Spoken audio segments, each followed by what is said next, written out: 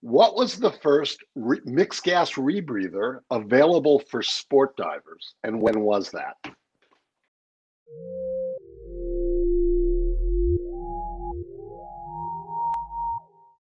Hello, everyone. Welcome to the latest edition of our in-depth preview for the in-depth newsletter, really released right here on our YouTube channel. My name is Nico Lurot. You can find me right here on the channel, as well as on GUE TV with my new photography series. And I am joined today by the rock star over to my left, Mr. Michael Menduno. hey, Nico, how you doing? I'm good, mate. Yep. Yourself? Very good. Doing very good today. Staying safe. Got, Got any holidays planned? Uh, dive trip plan. Yeah, I'm going to Mexico in uh, a week, doing uh, a week of Cozumel deep reef diving, helium diving nice. on in Cozumel. So that's nice. going to be kind of. It's a GUE trip. It's going to be kind of fun. Oh, sweet. Very cool. Yeah. Well, guys, you have not come here to discuss Michael and I's holiday plans, although I'm sure they're awesome. Um, but you are here to see what's coming up on this month of In Depth. Michael, what do you got for me? I got two questions for you, Nico. So, first question What was the first re- mixed gas rebreather available for sport divers, and when was that?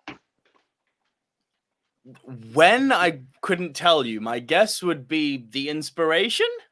Ah, good guess. They, they were the first production unit in the 90s, but that's not the right answer. Yeah. Um, uh, uh, the Draeger. You've brought this up before. Dra- Draeger was again in one of the early units. It was a semi-closed unit, not a mixed gas unit, but that's not the right answer. Either. Yeah, so no, haven't got you. All right, well, we're gonna have to come to that. Second question, a little more geeky. Uh, all the re- mixed gas rebreathers, not not the all the electronic mixed gas rebreathers on the market, except for one, have three oxygen sensors and a software system called Voting Logic. And my question is, where did that come from?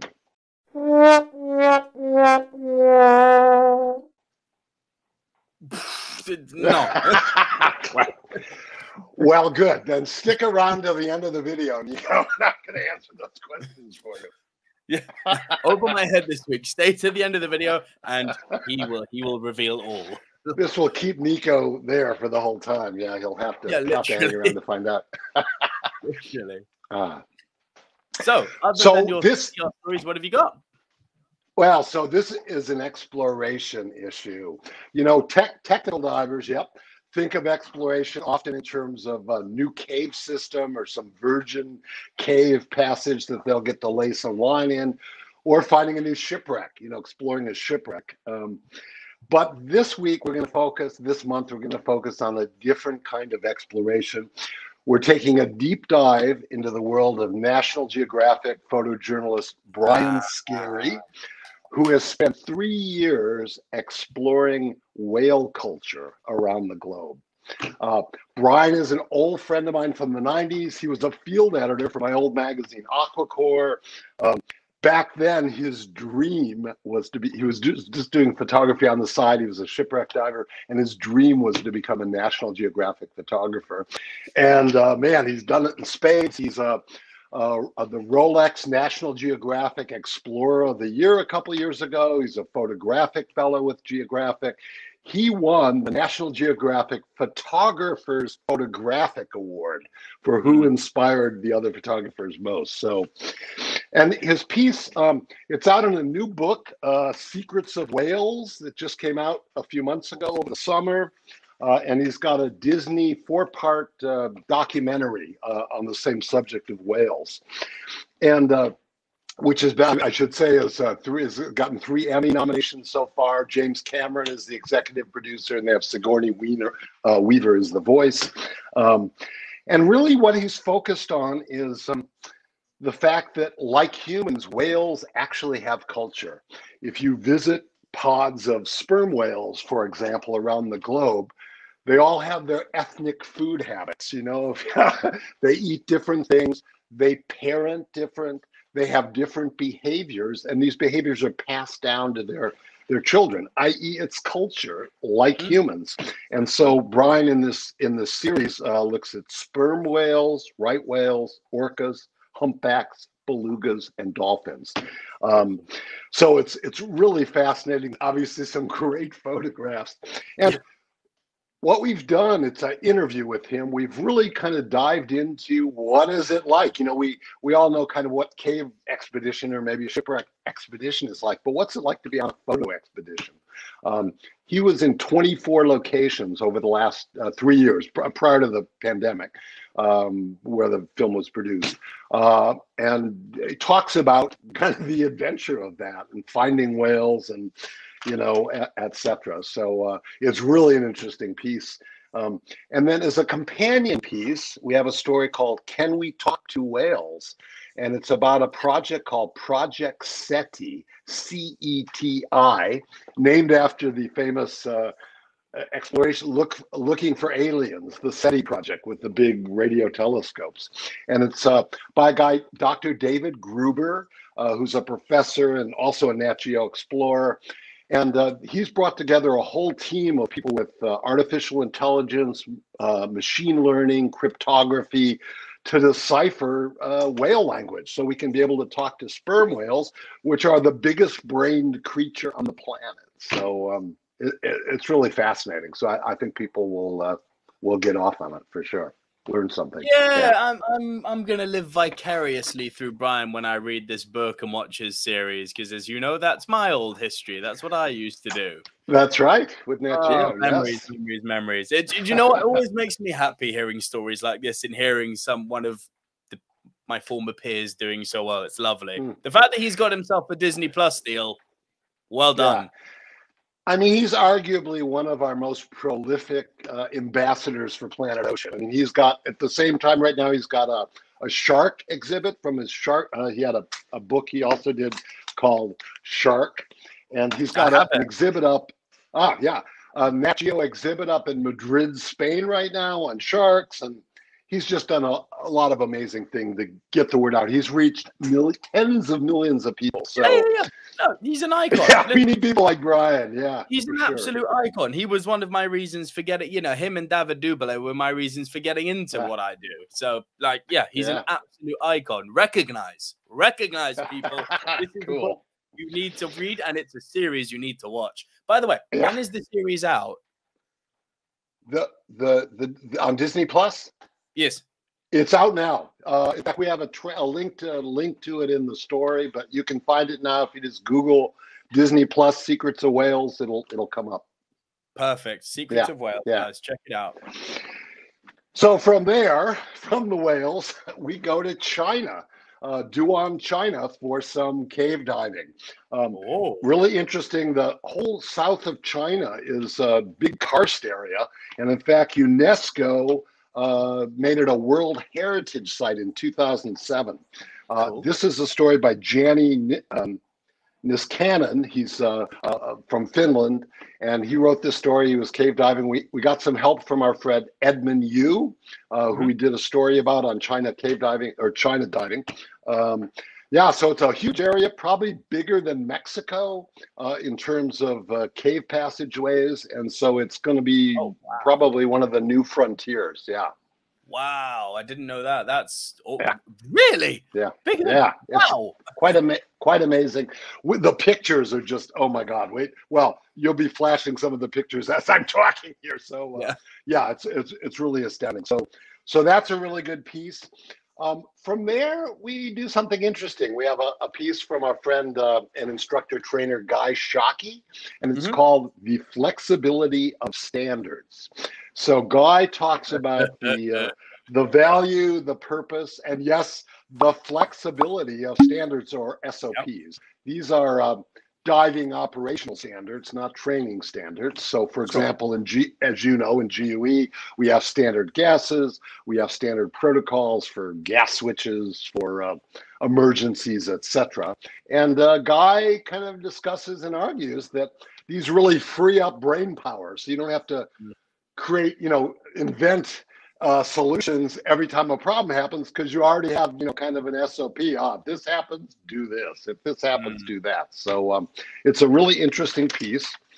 And uh, along that line, um, we have another article, uh, an excellent human factors article by uh, our friend Gareth Lock on the role of our, our attribution biases and language and how this affects our judgment. And he takes the case of a student being injured in a class as a case study. And uh, so the question is was the instructor at fault? Was anyone at fault? and he really kind of explores some of our, our biases with the idea of us moving towards a just culture, i.e., a culture where we can share our mistakes openly and we can all learn from them, as opposed yeah. to shaming and blaming, etc. So, um, yeah, it's, it's it's a really good piece. So, and uh, I'll give a shout out to if people haven't heard, we have uh, Gareth is running the Human Factors Conference uh, in late September. I think it's September 24th, 25th.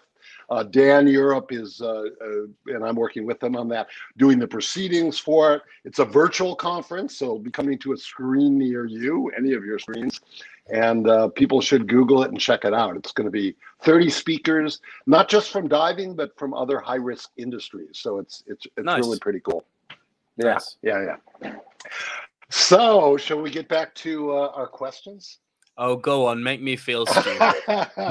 so we have a, an article on a unit called the Electrolung. The Electrolung was invented in the 1960s by Walter Starck and Jan Kanwisher, uh, and it was really made for sport divers and others. Uh, Walter was a marine biologist, and uh, this is a very geek. It's a set, 7,000 word piece, very geeky for you home builders. Uh, really goes through every aspect of the system, how it worked, uh, his thinking. And interestingly, you know, the, the limiting factor for mixed gas rebreathers, the limiting technology was oxygen sensing.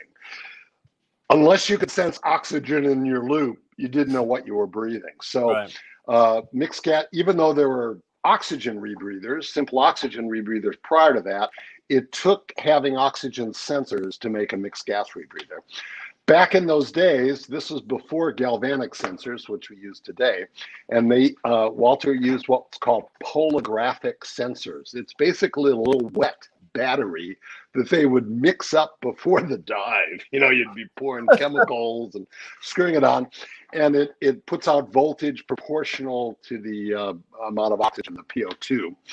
And uh, because they were pretty unreliable, uh, Walter came up with the idea of using three of them and then what's called voting logic. So, what is all the sensors should be the same at a given PO2, but they'll they'll drift slightly because they're analog. And so the the software, uh, if if one say a third sensor's up here and the other two are down here, the computer will say, well, the two, the majority wins. It's a majority, a voting scheme. The majority wins, right. and uh, that that and because of uh, again the unreliability, the idea was that this would increase reliability, um, and this is carried through to today. We know today that voting logic is not. It's having three sensors in voting logic is not equivalent to having a redundant system. Uh, it's just it's it's less than that. And because sensors can come from the same batch or be affected by the same factors, they're not really independent. So uh, it's it's a basically less than ideal system, and we're trying to move through that. Um, but anyway, this story gets into all the geeky details. We have a bonus from our friends at Historical Diving Society, an article called 300 feet on computerized scuba.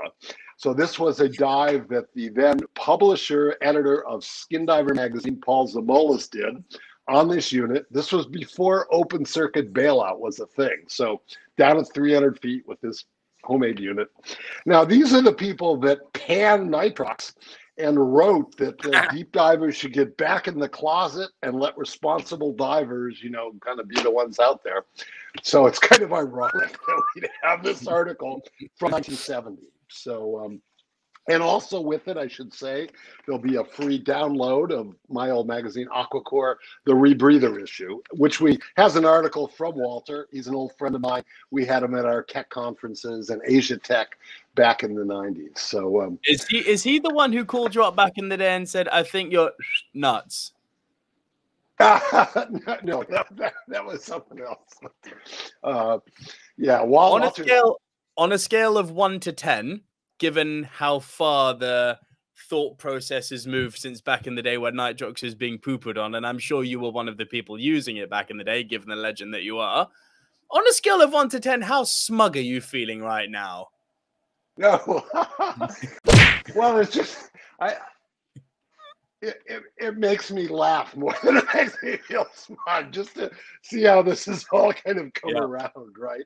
Because Skin Diver magazine, I mean, they were the dive magazine globally, yep. pretty much. You know, uh, can't remember when they went out of business, but it was around the early '90s.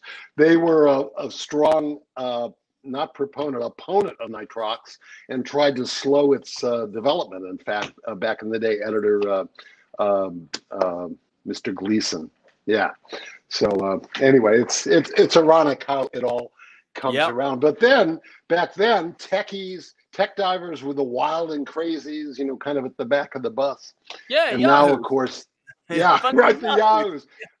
And now we are the sport diving industry, yeah. and the tourist divers are kind of in the back of the bus. We love them, but they're not really driving the industry anymore. So, Agreed. anyway, so it's going to be a great issue. Yeah. yeah.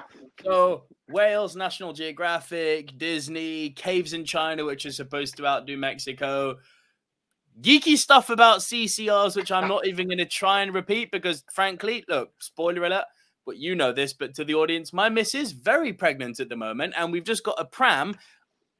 Putting the pram together was an achievement for me. So reading about the CCR stuff was like, nah, I, I, there is an audience out there for it, and it is right here on this channel. For me, that's still it over my head.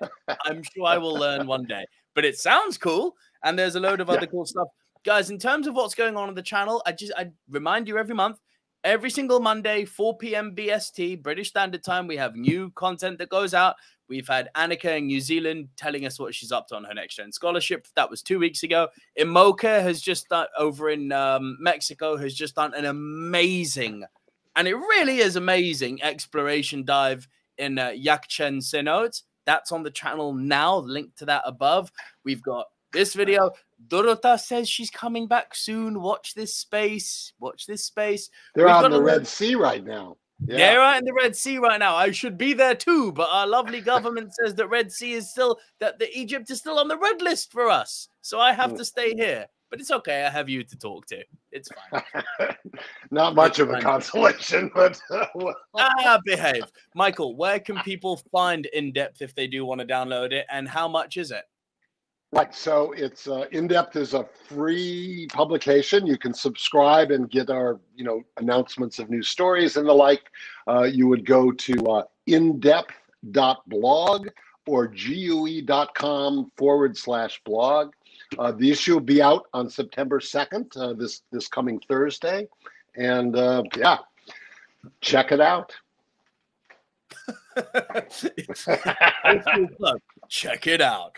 We shall, we shall. And guys, just if you do check out that Disney Plus show, be sure to Instagram Michael or I just to let us know what you thought. We'd love to know what you thought of uh, this really, really cool whale show. Do download the newsletter. Please like the video, share the video, hit the subscribe button. And remember, New content every single Monday coming for you. So be on the lookout for that. Community Day is back this year. That's just a few weeks away. And if you want to see more of this idiot right here with this accent right here, you can find me over on GUE TV doing the photography course, Creative Imagery for Divers, which I would more than welcome you all on. So that's it from us. That is, yeah, that's a wrap. So, Michael, I will see you next month. No, I won't. I'll see you on Community see Day. You next month. You will indeed. Thanks.